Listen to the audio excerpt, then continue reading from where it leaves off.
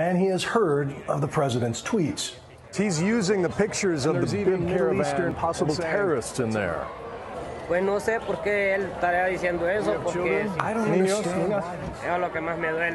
That's what hurts me the most. Is I have three kids and I had to leave them behind because there's no job. When do you think you'll see them again? It's hard, yeah.